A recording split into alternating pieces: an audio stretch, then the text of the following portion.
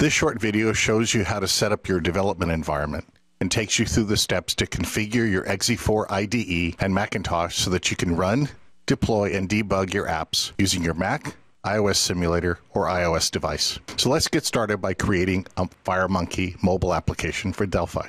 Say File, New, FireMonkey mobile application. Next, you'll see a set of application templates that you can choose. Uh, there are eight different templates. We'll just do something simple and start with the header footer mobile application. It asks for a directory to place your project in. I've got one called test one here.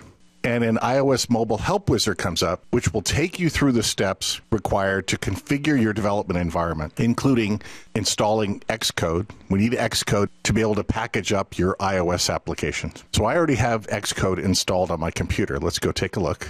I'm using Xcode 4.6.1, which is compatible with iOS 6.1. After you've installed Xcode on a Macintosh, the next step that the iOS Help Wizard guides you to is to make sure that you have the command line tools installed. So let's go back to Xcode, and we can find out what's installed by saying Xcode Preferences. Go to the Downloads page, and it'll show you here that I've already downloaded the command line tools and installed them. And I've installed several simulators for the iOS devices going back to the iOS Help Wizard, the next step for setting up our environment is to install the Platform Assistant on the Macintosh. And the Platform Assistant allows the Windows based IDE to talk to the Macintosh and connect via the Macintosh to the devices and the simulators so that we can test and run our applications. This Platform Assistant for the Macintosh uh, is available both in your install directory here under Rad Studio. You can also grab it from installers.codegear.com. I've already grabbed it. It's here on my desktop. It's called rad PA server XE4.pkg. I'll just double click and install the PA server. And it will install on the Macintosh hard drive. And it's over here on my hard drive under applications, rad PA server.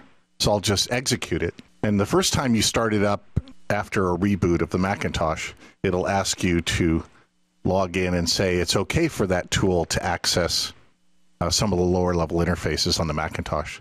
So now the platform assistant server is running on my Mac. So next step is to run it, which I did. And now I need to create and test a connection profile on the development PC. So we can do that in a couple different ways. We can go into environment options by going tools, options, connection profile manager. We don't have any profiles currently, so we can add one.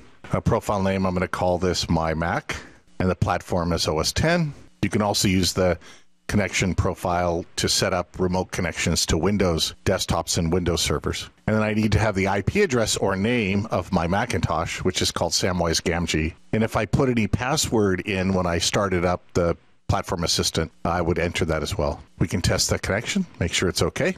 It says it's fine. And now we have a connection profile that we can use. The next step is to configure which SDK that we want to connect in our project. We can do that by saying Tools Options, Environment Options, SDK Manager, and now we can add a new SDK for whatever platform, my case, iOS device. It knows the connection profile for my Macintosh and what SDK that I want to develop for. It gets all that information through the Platform Assistant. It will now connect up and make sure I have all the information available for building my projects. The next step is to create a FireMonkey iOS app, which I've already done through the File New Project and shows the template.